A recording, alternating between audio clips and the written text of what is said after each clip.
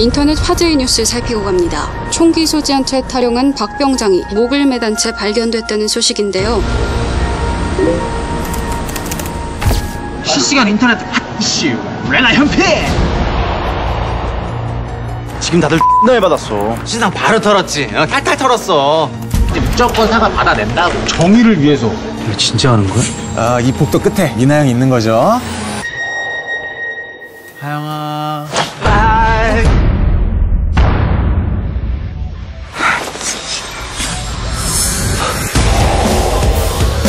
경찰 못 되는데 범인 있으면 타살이면 되잖아.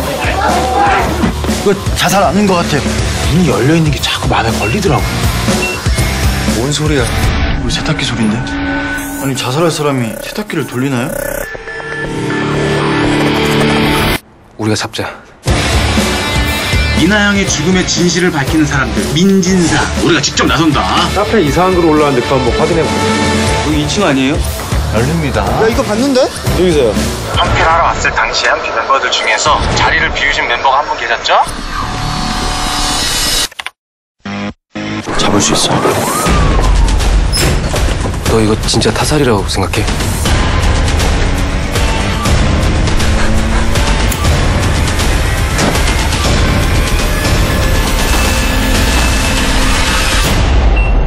네가 죽였지, 임나영.